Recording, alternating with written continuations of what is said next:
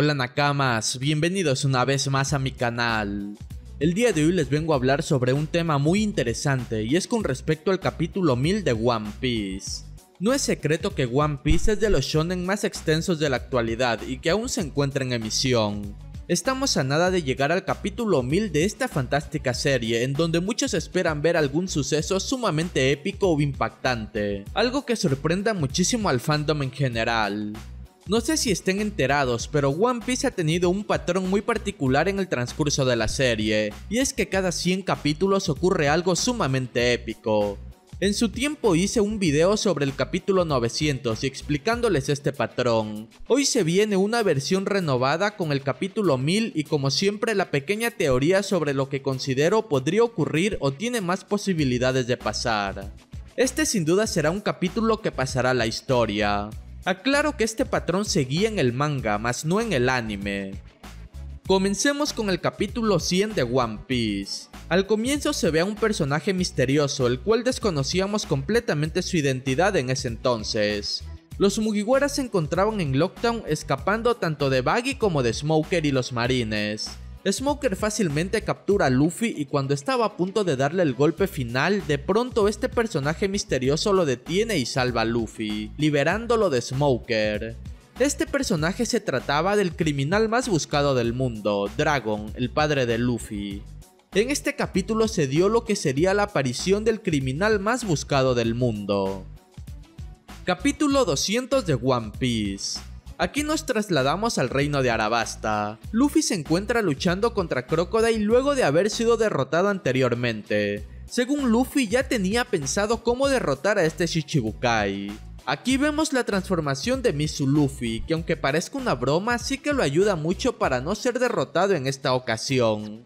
Luffy aquí le da un gran golpe a Crocodile al final, dando esperanzas de victoria luego de su aplastante derrota capítulos atrás. En este capítulo se nos muestra a un Luffy con un rayo de esperanza para derrotar por primera vez a un Logia además de ser Shichibukai.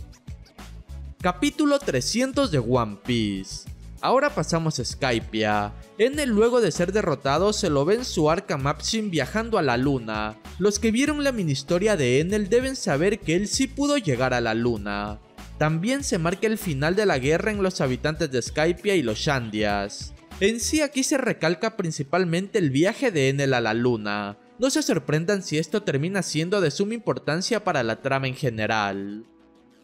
Capítulo 400 de One Piece Ahora nos trasladamos a Enies Lobby. Aquí se da por iniciado uno de los enfrentamientos más épicos de todos los Mugiwaras, la lucha por las llaves que liberarán a Robin. Todo el capítulo se centró en emparejar estos combates. Como ya sabemos, luego de la finalización de este conflicto, todos los Mugiwaras pasaron a tener recompensas. Este en sí a día de hoy es el combate más significativo de la tripulación. Capítulo 500 de One Piece Ahora nos trasladamos al archipiélago Shabondi. Aquí ocurre una de las apariciones más épicas de toda la serie. El capítulo se centra en el secuestro de Keimi y al final cuando está siendo maltratada por el dueño de la casa de subastas, este cae inconsciente de forma repentina. El responsable fue el poderosísimo vicecapitán de los piratas de Roger, Silvers Rayleigh. Esta fue una de las apariciones que a lo mejor nadie se esperaba por lo que sorprendió muchísimo al fandom. Sin duda la importancia de Rayleigh fue fundamental desde su aparición. Capítulo 600 de One Piece Aquí nuevamente nos centramos en el archipiélago Shabondi, pero luego de dos años. Para resumirlo en pocas palabras, todos los Mugiwara se encontraron por fin a excepción de Luffy, el cual al final de este capítulo Rayleigh les avisa que Luffy ya se encontraba en Shabondi. Capítulo 700 de One Piece. Aquí nos trasladamos a Dressrosa. En este capítulo ocurrieron un montón de cosas épicas. Se comienzan las negociaciones entre Doflamingo y la alianza de Lau y Luffy. Doflamingo renuncia a los Shichibukai se revela que Baggy también forma parte de Louka Shichibukai. Y por último, Doflamingo muestra la Mera Mera no Mi.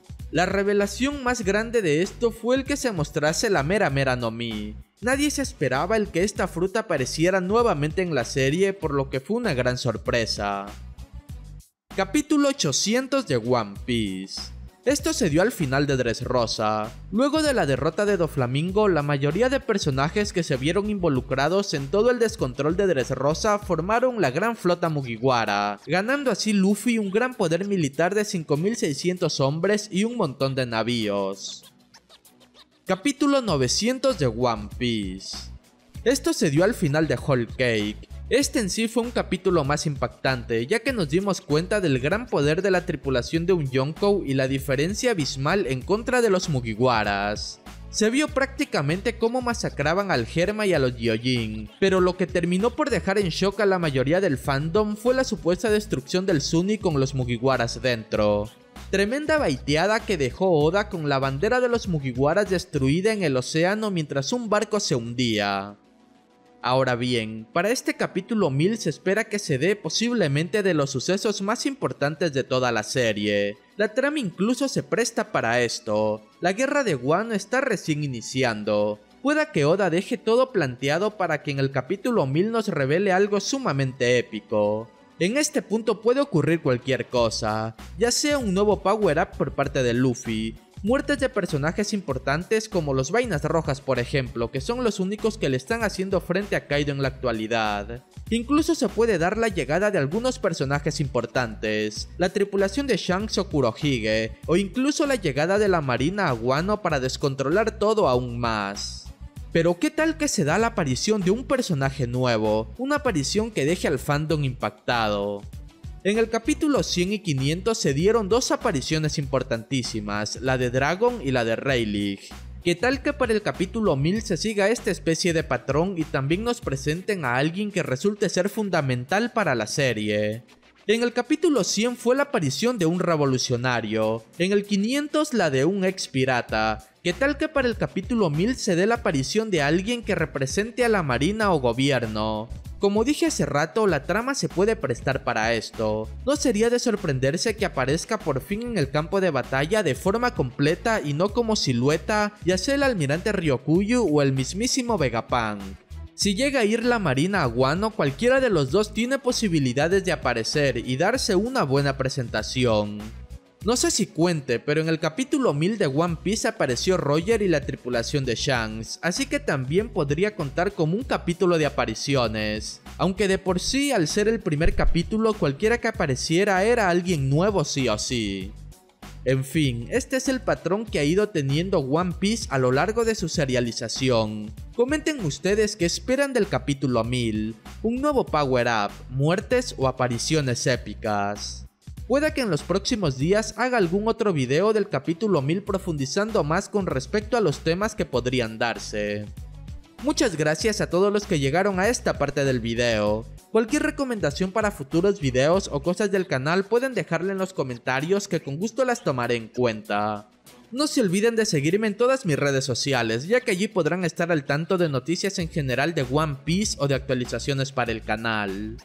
Nos vemos en un siguiente video. Adiós.